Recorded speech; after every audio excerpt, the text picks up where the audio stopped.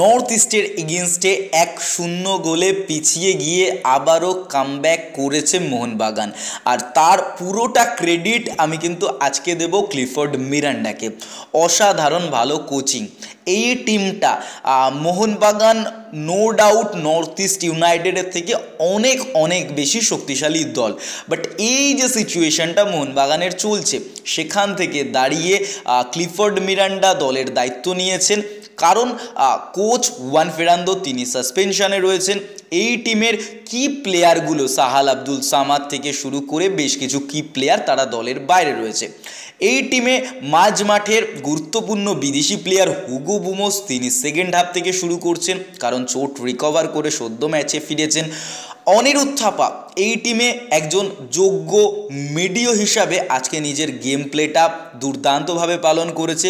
দীপক টাংরি অনেক দিন পর ফার্স্ট ইলেভেনে ফিরে তিনি যে গ্লেন মার্টিন্সের থেকে অনেক ভালো ফুটবলার সেটা প্রুভ করে দিয়েছেন। শুধুমাত্র যে গোলের ক্ষেত্রে মির্সাদের ভুলটা আমি বলব না, তার থেকে অনেক বেশি যে এই বলটার জন্য দীপক টাংরি ফলো করে গেছে এবং ওর গায়ে লেগে গোল হয়েছে। সাদিকু যে বলটা জেসান কামিন্সের জন্য নামিয়ে দিয়েছেন বাই নো ডাউট এই জন্য কিন্তু জেসন কামিন্স যে গোলটা টুয়ের মানে একটা টাচ টাচের মাধ্যমে মির্সাদ কিন্তু ফার্স্ট বারের দিকে ঢুক, ঢুকছিল। সেখান থেকে দাঁড়িয়ে বলটা সুন্দর করে তিনি মির্শাদের উল্টো সাইডে রাখলেন এবং এর পুরো ক্রেডিটটা কিন্তু সাদিকুর যায়। কারণ ওই জায়গা থেকে সাদিকুর ট্রাই করতে পারতো হেড দিয়ে বল জালে জড়ানোর বাট সুন্দর করে কিন্তু জেসানকে দেখে সে বলটা নামিয়ে দিয়েছে। এই আন্ডারস্ট্যান্ডিংটা দরকার ছিল।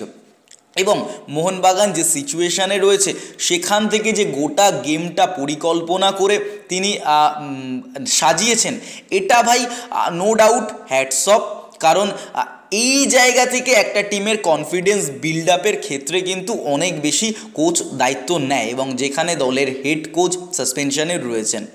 এই টিমটা থেকে অনিরুদ্ধ থাপা আজকে যে গেম প্লেটা করলেন সেটা গিয়ে কোথাও গিয়ে হুগো বুমোস এর অ্যাটাকিং মিডিও এবং ডিফেন্সিভ মিডিও দুটো রোলই কিন্তু অসাধারণভাবে পালন করেছেন, যার জন্য আজকে ম্যাচের সেরা অনিরুদ্ধ থাপা হয়েছেন, সুন্দর বল ডিস্ট্রিবিউট করেছেন।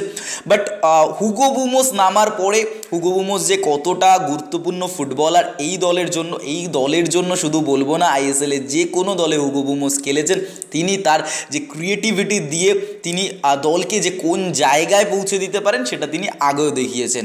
অ্যান্ড দিমি পেত্রাতস ভাই আমরা সাদিকু, আমরা জেসন কামিজ নিয়ে যতই কথা বলি না কেন, দিমি পেত্রাতস যে কত টা পরিমাণে গুরুত্বপূর্ণ এই দলের জন্য সেটা ভাই আজকে নামার পর আবারও তিনি প্রুভ করেছেন। যেমন হুগো বুমোস এবং দিমিত্রি পেত্রাতস এই দুটো মনবাগানের জন্য দারুণ একটা কম্বো তৈরি করে। বাট সবথেকে ভালো লাগল আজকে কিন্তু শুভাশিস বোস অনেক দিন পর ক্যাপ্টেন গোল পেয়েছে। এটা অনেকটা বেশি ভালো লাগল। দলের ক্যাপ্টেন গোল পেলে দলের মধ্যে কিন্তু আলাদা একটা অ্যাটমসফিয়ার তৈরি হয়। অ্যান্ড আজকে কিন্তু আরও বেশ কিছু গোল আসতে পারত। মির্শাদ মিচু যে ভুলগুলো প্রথমার্ধে করছিলেন সেকেন্ড হাফতে তিনি সেকেন্ড হাফে তিনি অনেক কিছু চেঞ্জ করে নিয়েছেন। হয়তো কোচের কাছ থেকে তিনি শুনেছেন যে অত ইজি গোল যেটা তিনি ফার্স্ট গোলটা খেয়েছেন। তো সেখান থেকে দাঁড়িয়ে এক্সপেক্টেড নয় একটা আইএসএলের টিমের ক্ষেত্রে এরকম গোলকিপারের যে মাইন্ডসেট থাকে, সেই মাইন্ডসেট নিয়ে কোথাও মির্শাদ মুচু আজকে নামেননি।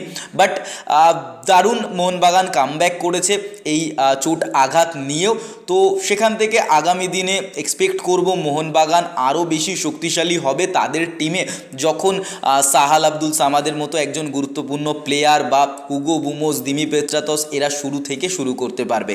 তবে মোহনবাগান কিন্তু এই মুহূর্তে লিগ টেবিলে তিন নম্বরে রয়েছে। বাট তারা অনেক কম ম্যাচ খেলেছে। কেরালা ব্লাস্টার্সের থেকে জাস্ট এক ম্যাচ তারা জিতলে লিগ টেবিলের শীর্ষে চলে যাবে।